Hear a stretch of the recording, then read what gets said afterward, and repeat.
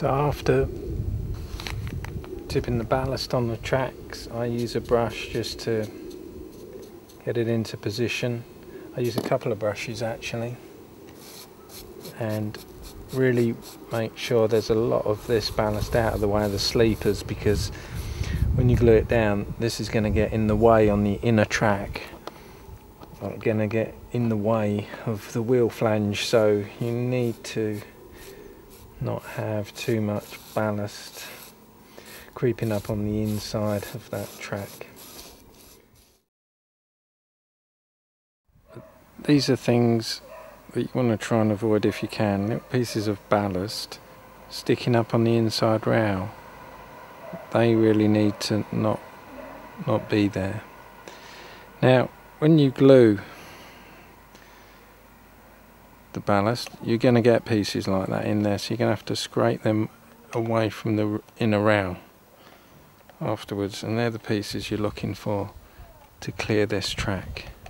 Make it nice. With ballasted foam, it automatically fits in position. You don't get this issue at all. Now all of my points on this layer in the fiddle yard, which is good. It means I don't have to ballast around them so they stay functioning nicely. But all I can say to you is if you're going to hand ballast this way, put grains in almost in an individual level, just very few grains in there and make it nice and grey underneath so that it, it kind of looks like gravel even if there isn't gravel there underneath. But don't put too many pieces in because you must not impede this movement at all.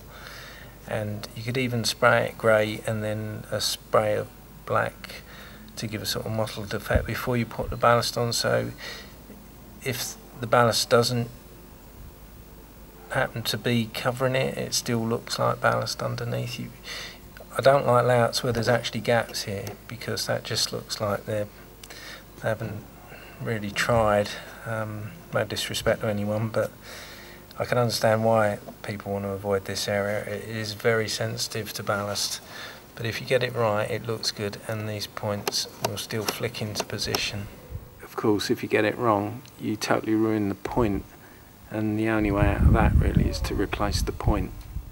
So there is the ballast all down, ready for gluing. It's taken me about an hour to do um, half of two loops, so quite a long while really. Now, I've been talking about ballasted foam and this is Gaugemaster GM200 and this is what it looks like. It's a very short piece of it of course so it, it can be bent to any shape so it can accommodate curves and you can cut it for under points and it if you cut out these sections it won't impede the points either.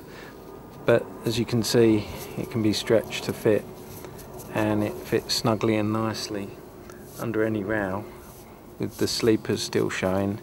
And there's no way any of this actual granite that's stuck on the foam is going to get in the way of the inner rail. So that ensures the ballast won't get in the way. So I, I like that form of ballasting but it is very expensive. That's the downside. The other advantage is it's very quiet very quiet indeed. It cushions the track and therefore the locomotives run smooth over it as well.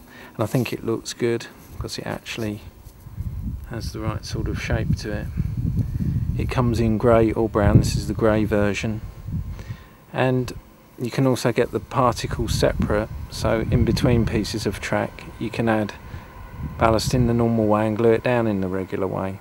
So that is a, another option, I mention it here, I've shown it on other videos using the ballasted foam, for example on Langton's Retreat. So there's different ways of, of doing this. No right or wrong really, it's a preference. Each has its own advantages. With this, I'm doing it for cheapness. So one thing you need to do is really get it soaking wet, but spray it gently so you don't blow the ballast everywhere. And that really helps the PVA glue to seep in That's nice.